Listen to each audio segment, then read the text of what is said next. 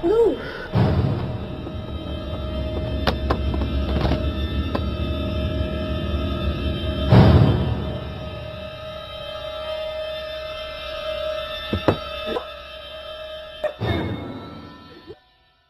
Por isso pode ser algum caçador clandestino. Não sei não. De qualquer forma, vamos terminar logo com a nossa caça. Agora sim, Firula. Continua andando.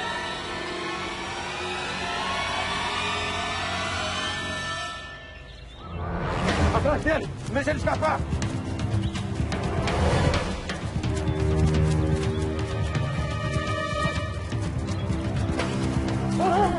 Deixa ele escapar! Pega ele! Atira pra matar! O!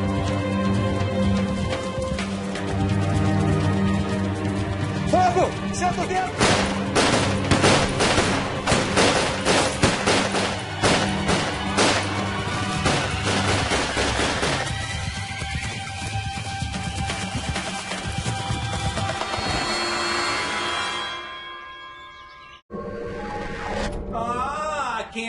sempre aparece. E quem é insuportável também. Hum. E antes que você comece a me bombardear com perguntas para saber aonde eu estive. Não interessa. A vida privada de Cleópatra, a partir de hoje, não faz parte da minha lista de curiosidades.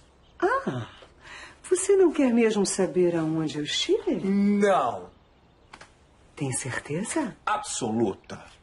Ah, que pena. Logo agora que eu ia te contar tudo. Tim-tim, fortim, tim. Mudei de ideia, então pronto. Por favor, pare agora. Eu quero saber de tudo.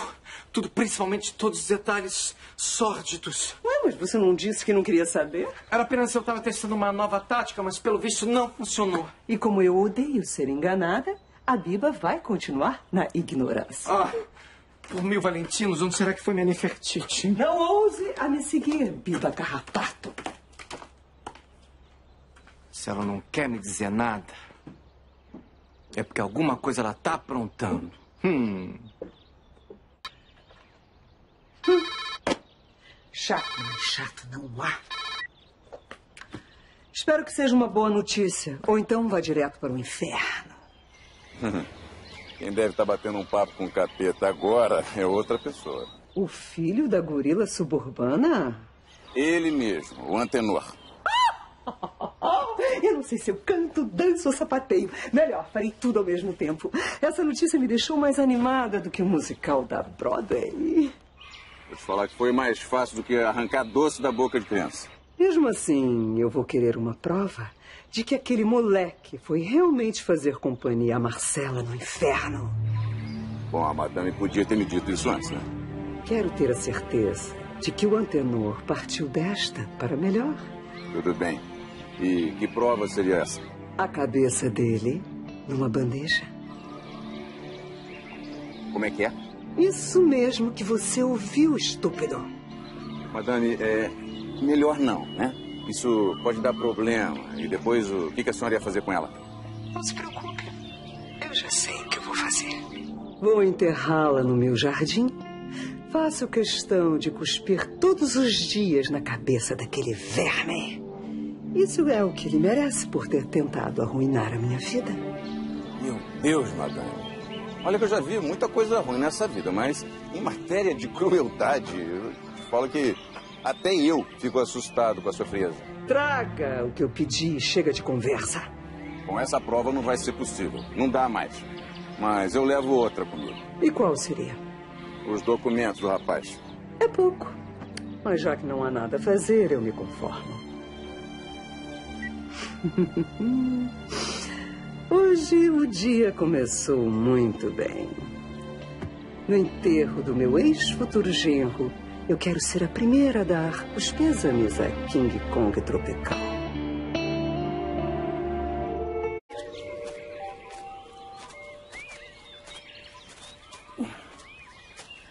Aqui, ó. Cápsula de pistola.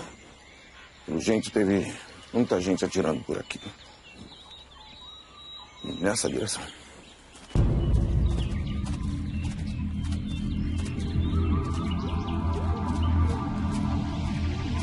Olha lá, vendo? Não só atiraram, como olha ali. Parece que acertaram na mosca. Não, o negócio tá feio, cara. Nunca pensei que fizessem desova por aqui.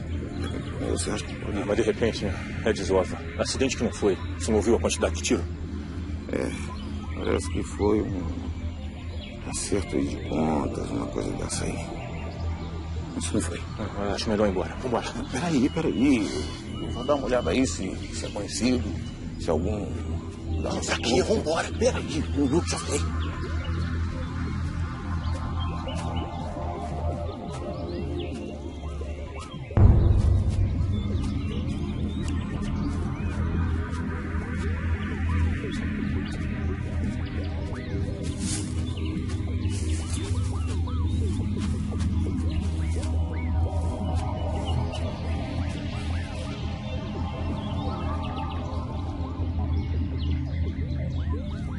E aí?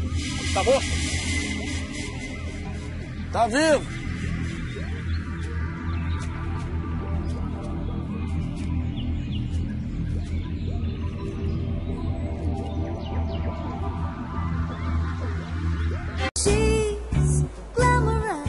She's going right after you. She's buzzing us. She's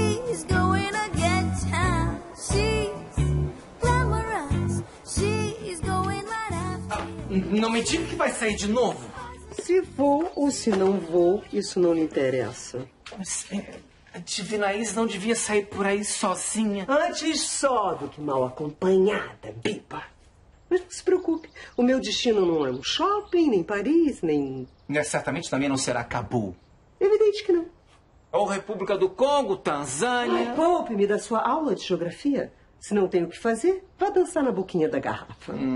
Essas saídas misteriosas vão me deixar traumatizado, hein? Ai, bila chata, enxerida! Só estou indo fiscalizar o meu jardim. Quero ver se ele está como eu gosto. Florido.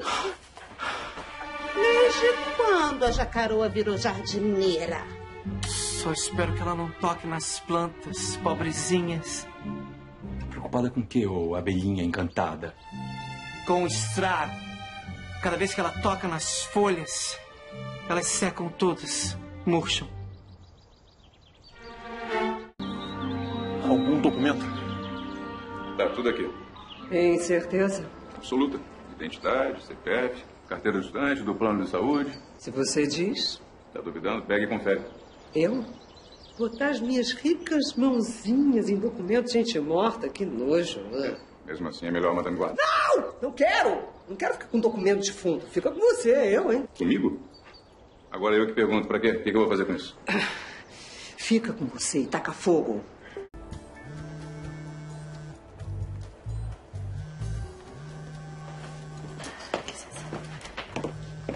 Licença, professora, eu preciso atender só um minutinho, tá?